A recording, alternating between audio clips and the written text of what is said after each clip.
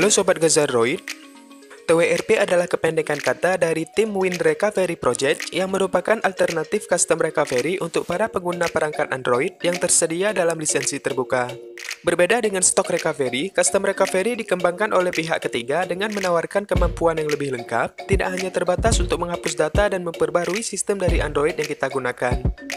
Untuk fungsi dan fitur-fitur yang tersedia pada recovery TWRP ini, sobat bisa lihat ulasannya pada video saya yang ini.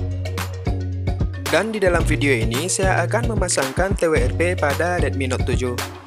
Sebelum memasang recovery TWRP-nya, pastikan Redmi Note 7 Sobat sudah dalam keadaan UBL yang ditandai dengan munculnya lagu unlock saat pertama booting. Kemudian, Sobat masuk ke menu setelan, masuk ke tentang ponsel, kemudian tap 8 kali pada tulisan versi MIUI-nya, sehingga muncul pop-up sekarang Anda adalah developer. Kemudian sobat masuk ke setelan tambahan, lalu scroll ke bawah dan tap pada opsi pengembangnya. Kemudian sobat aktifkan USB debuggingnya. Kemudian oke. Okay. Selanjutnya sobat siapkan semua bahannya yang sudah tersedia di kolom deskripsi. Setelah sobat ekstrak bahannya, maka sobat akan melihat 4 buah file yang akan digunakan untuk memasang TWRP di Redmi Note 7 sobat. Sekarang sobat hubungkan HP-nya ke PC ataupun laptop yang sobat gunakan dengan kabel USB. Setelah terhubung, sobat ubah perizinan USB di HP-nya ke transfer file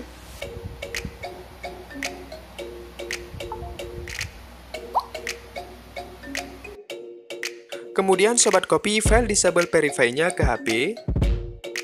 Bisa sobat copy ke internal ataupun penyimpanan eksternal yang sobat miliki. Karena saya di sini tidak memiliki SD card, maka saya copy file disable verify-nya ke memori internal saja. Kemudian sobat cabut kabel USB-nya.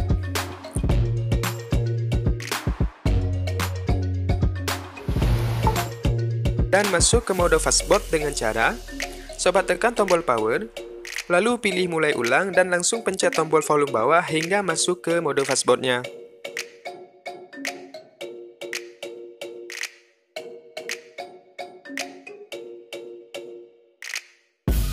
Setelah itu, sobat kembali lagi ke bahan untuk menginstal TWRP-nya. Sobat buka Universal ADB Driver Setup-nya. Kemudian sobat klik Next hingga drivernya berhasil terinstall.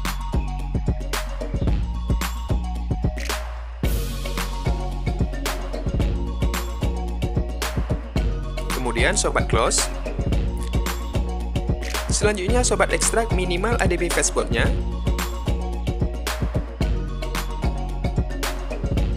Lalu sobat rename file TWRP 3311-nya menjadi TWRP saja agar mudah saat menuliskannya saat berada di dalam mode CMD.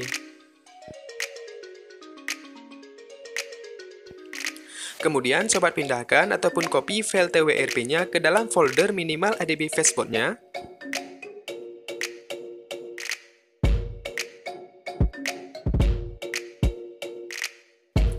Lalu sobat klik dua kali pada file cmd here.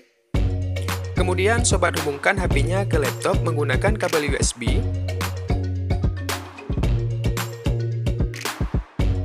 Lalu sobat ketik Facebook device dan enter. Jika HP-nya sudah terbaca, maka akan muncul nomor seri HP sobat seperti ini. Lalu sobat ketik Facebook flash recovery TWRP titik IMG, kemudian enter. Maka proses pemasangan TWRP di Redmi Note 7 sobat telah selesai.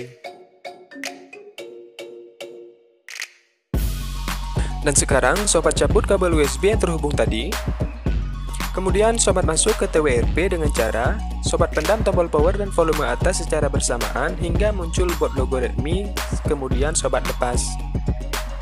Setelah masuk ke dalam mode TWRP-nya, sobat checklist semua mode-nya. Kemudian sobat masuk ke menu install dan sobat install file disable verify yang sudah sobat copy tadi. Kemudian sobat pilih filenya dan sobat swipe untuk menginstalnya. Setelah selesai, Sobat wipe Dalvik dan cecenya, kemudian reboot sistem. Dan jika Sobat ingin root, Sobat tinggal install magizipnya melalui TWRP seperti yang saya lakukan di dalam video ini.